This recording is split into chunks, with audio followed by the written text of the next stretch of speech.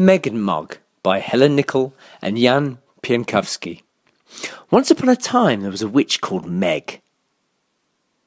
At midnight the owl hooted three times and woke her up. Ooh, ooh, ooh. She got out of bed to dress for the spell party. She put on her black stockings, her big black shoes, her long black cloak, and her tall black hat. She went down the stairs to cook breakfast. Clip clop. In the kitchen lay her big striped cat Mog. He was fast asleep. She trod on Mog's tail. She took out of her cupboard three eggs, bread, cocoa, milk, a kipper, jam. She put it all in her cauldron and stirred it up. Bubble, bubble. Mmm, yum yum. Brrr. There was plenty of breakfast for everyone. At one o'clock, she got her broomstick, her cauldron, and a spider, and she flew up the chimney with Mog. Up in the sky. She met her friends going to the party Bess, Jess, Tess, and Cress. They landed on a hill in the moonlight to make the spell. Each of them had brought something to put in the cauldron. This is what they put in a frog, a beetle, a worm, a bat, a spider. They all stirred the cauldron as they chanted their spell Abracadabra! Frog in a bog, bat in a hat, snap, crackle, pop, and fancy that! There was a flash and a bang, boom! Something had gone wrong. Bess, Jess, Tess, and Cress all changed into mice, and Mog chased them. I'll have to change them back next Halloween. Goodbye. I Want My Potty by Tony Ross. Nappy thy yuck, said the little princess. There must be something better. The potty's the place, said the queen. At first, the little princess thought the potty was worse.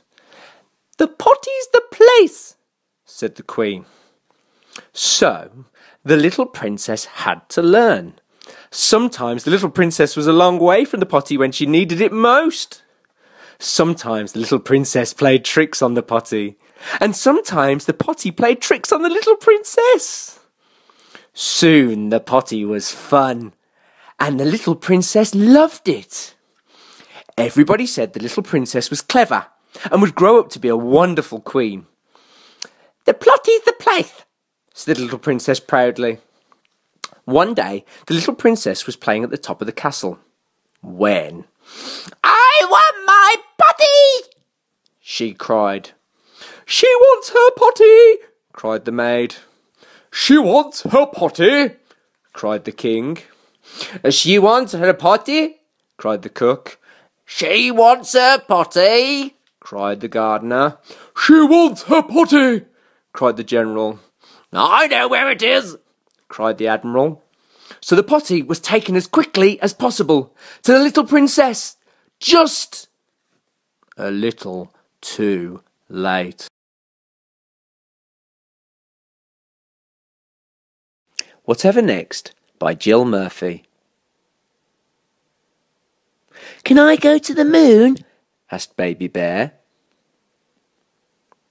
No, you can't, said Mrs. Bear. It's bath time. Anyway, you'd have to find a rocket first. Baby Bear found a rocket in the cupboard under the stairs.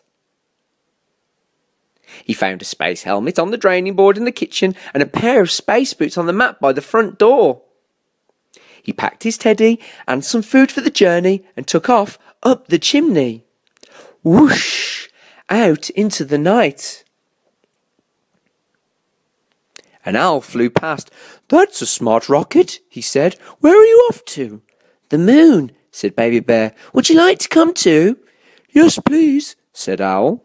An aeroplane roared out of the clouds. Baby Bear waved, and some of the passengers waved back. On and on they flew, up and up, above the clouds, past millions of stars, till at last they landed on the moon. There's nobody here, said Baby Bear. There are no trees, said the owl. It's a bit boring, said Baby Bear. Shall we have a picnic? What a good idea, said the owl. We better go, said Baby Bear. My bath must be ready now. Off they went, down and down.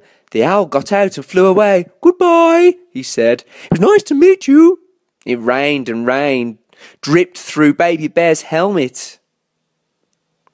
Home went Baby Bear, back down the chimney and onto the living room carpet with a bump.